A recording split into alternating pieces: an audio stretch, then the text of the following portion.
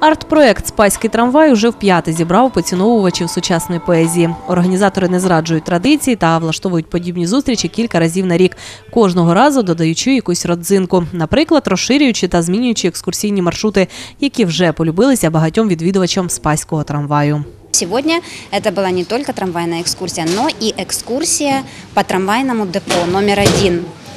Это старинное место с очень интересной, загадочной даже историей.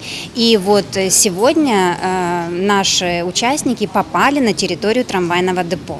Ще одною новинкою арт-зібрання стала сама поетична частина. Уперше її відкривали танцювальним номером від клубу Пасадена.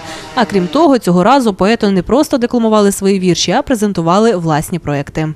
Большинство из участников представят проекты, над которыми они работают, или которые у них были готовы, но еще не представлены публике. Э, Анонсируют проекты новые, которые они готовят.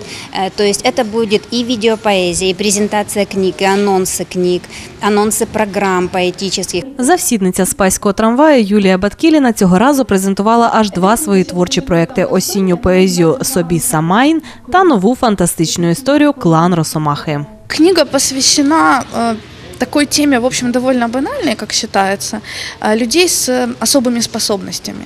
И обычно считается, что если у тебя есть какие-то там особые возможности, ты такой трах-бах идешь сразу восстанавливать справедливость.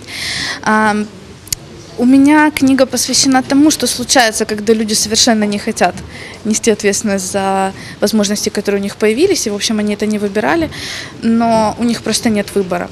Разом з Юлею на імпровізовану сцену виходили Ольга Сквірська, Артем Куцелапський, Олег Духовний, Юлія Шокіна, Анжела Богаченко та інші. Презентували власні книги, історичні чарт-проекти, відеороботи тощо.